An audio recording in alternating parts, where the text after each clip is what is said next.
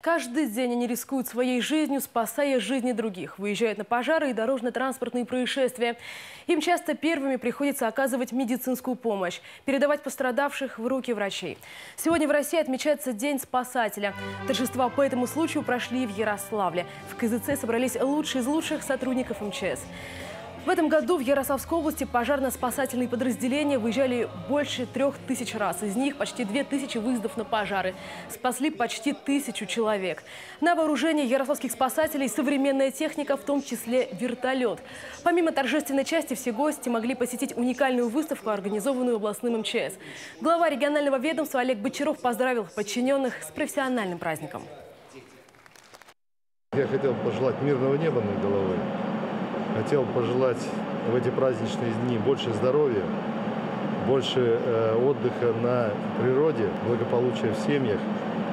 Ну и помнить, что жизнь, она это очень хрупкая вещь. Это подразделение действует э, в режиме постоянной готовности и повышенной готовности. Поэтому оценка, что все удовлетворяет, это правильная оценка, но оценка отличная. Это тем мужественным людям, которые идут на работу, заранее зная, что их ждет какой-то напряженный момент, который они будут решать.